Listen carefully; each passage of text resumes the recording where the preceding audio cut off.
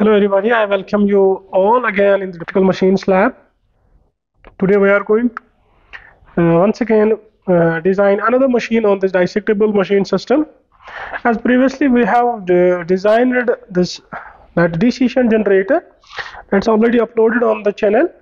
Right, in that we designed a lap wound DC generator and where we designed this armature having four coils and four commutator segment and these are the rest of the components which I have already discussed.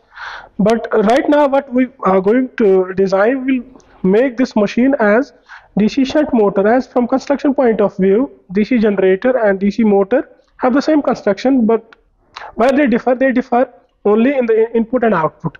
Right in DC generator we give this input by using this variable speed drive. That's the mechanical input was provided by this variable speed drive and the output was tapped across the armature winding at these two brush terminals as was connected uh, we connected a voltmeter across the uh, that these terminals at that time right?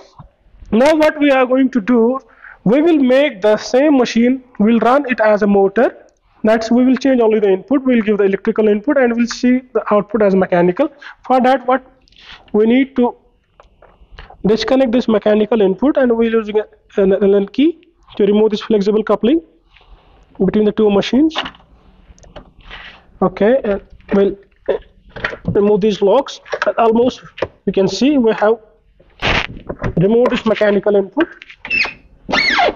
Now what left us is only this lap wound armature and the field windings and the uh, armature terminals are bring on these brush at E and F. And the field terminals are bring at this terminal F and H now what we will do we will make this machine as dc shunt motor for that we will short this terminal e that is the one armature terminal with this field winding at f. And another terminal on this side this g and h will be shorted. That we have connected the armature winding and field winding in parallel right? After that we will energize this parallel combination by a dc source. That's to give the electrical input to this machine for that. That is provided by this variable supply. So I will connect this black terminal across this one of the supply across this terminal. And similarly we are going to energize the another terminals of this uh, desired shunt motor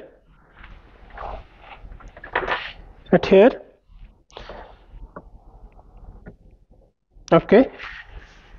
After that we will switch on the MCB and we'll start increasing the input that's the electrical input to this DC machine until the rated RPM it, it reaches to the rated RPM so as you can see as I am increasing the voltage you can see the machine is now working as a DC shunt motor and the speed increases as accordingly I am increasing the voltage.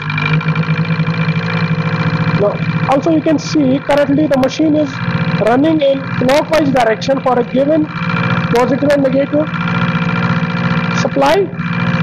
So you can see I, I will show you another thing. If we will do, if what we will do, if we interchange the terminals, the direction of current in the field winding and armature winding that will get reversed.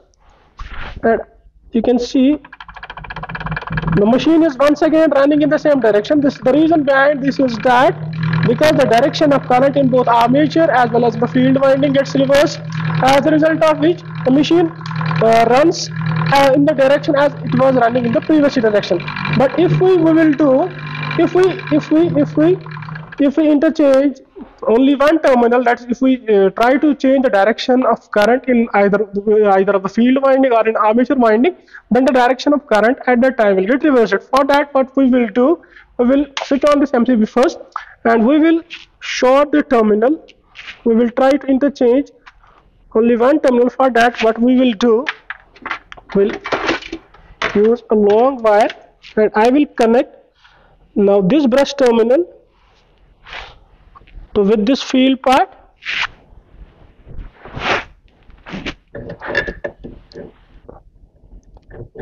and this brush terminal will be connected across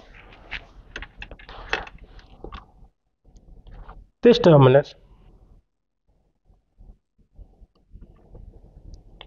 And now the same machine will be I will energize and now it must run in the direction opposed to that as the it was running in previous.